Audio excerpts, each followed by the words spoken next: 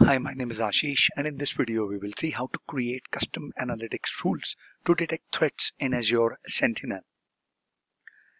Once we have connected the data sources like we did in the previous videos wherein I connected DNS to Azure Sentinel, we can create custom rules that can search for specific criteria across the environment and generate incidents when the criteria are matched. And then we can further investigate those this video will help you to create custom alerts to detect threats with Azure Sentinel. So to start creating a custom, custom analytics rule with a scheduled query, I will have to log on to the Azure portal and take it from there. I'm logged on to the portal and I will go to the Azure Sentinel and when I click on the workspace which is uh, selected for my Azure Sentinel, I would go to the analytics under configuration.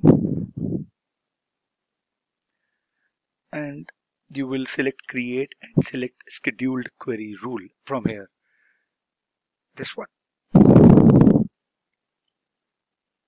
This will open up the analytics rule wizard. In the general tab will provide a unique name and a description so you can add any name that you want. We'll say rule 1 this is test rule. In the tactic fields we can choose from among categories of attacks by which to classify the rule. We can go for this. Or do you want to do? You can do impact. Or you can select it zero as well. You can select this severity and uh, status is enabled by default. And if you don't want to run it immediately you can select disable and then the rule will be added to your active rules tab and then you can enable it later. So let me do this. Now we'll go for defining the rule logic and uh, configuring the settings in the set rule logic tab. You can either write a query directly in the rule query field or create the query in log analytics. Here right so you can type it here or you can do it later or create the and then you can copy and paste it here. Queries are written in Kusto query language or Kusto query language which is KQL you can learn for KQL concepts and queries on the Microsoft documentation. And in the rules simulation here this chart put the uh, area to write select test with current data. This chart shows the results of the 50 evaluations click a point in the chart. So I don't have anything configured as of now. That is why it is not showing you.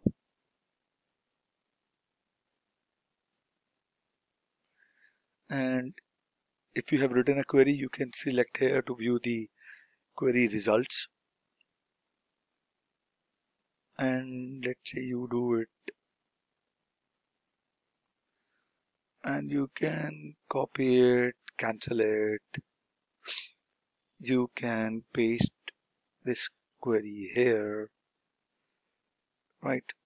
And you can do test with current data. It is simulating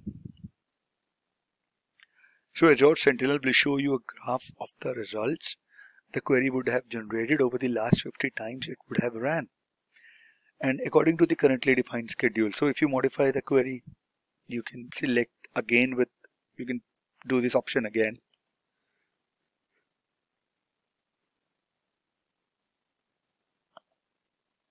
And it will show you a graph I mean if I would have any data right? So if you see that the query would trigger too many or too frequent alerts, you can set a baseline in the alert threshold section.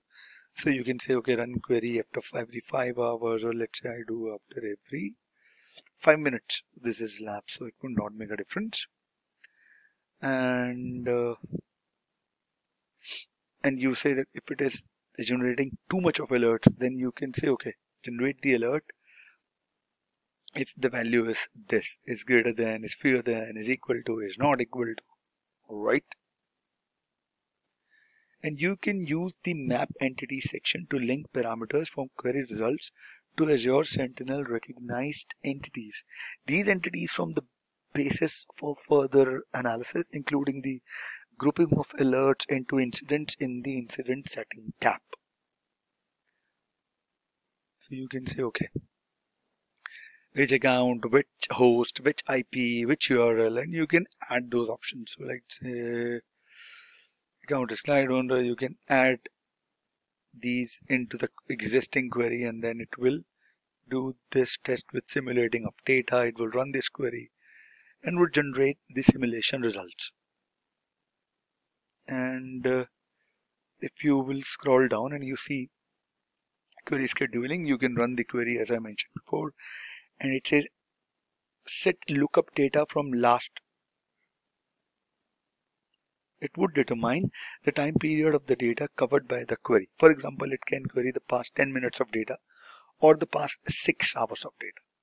Right, so I'd say, okay, do query last 15 minutes of data also.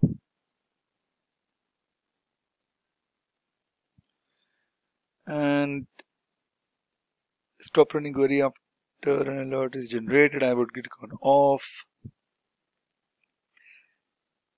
And when you talk about event grouping, you can choose one of, you can group all events into a single alert. You can trigger an alert for each event. Currently, the number of alerts a rule can generate is capped at 20. If in a particular rule, event grouping is set to trigger an alert for each event and the rules query returns more than 20 events, each of the first 19 events will generate a unique alert and the 20th alert will summarize the entire set of returned events.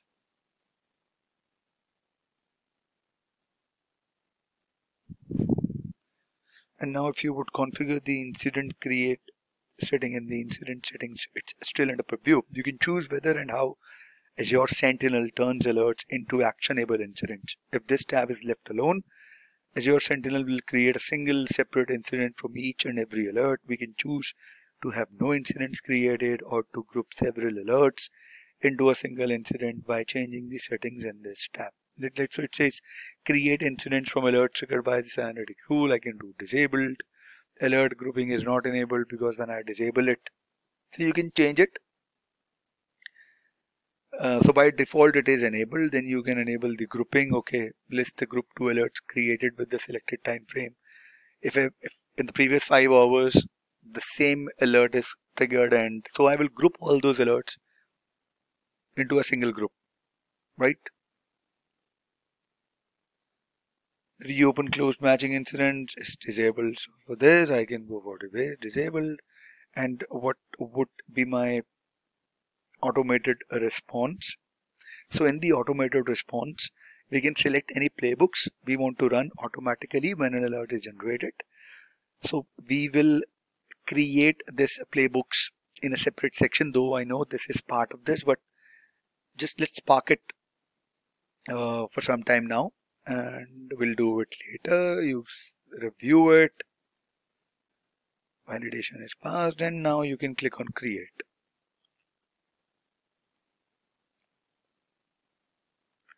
All right. So this is rule one saved. I mind you that this is still disabled right? So if you would do this and you go here you can enable it from here. You can edit the settings from here. You can delete it. You can create a duplicate alert as well and then you can change your settings. All right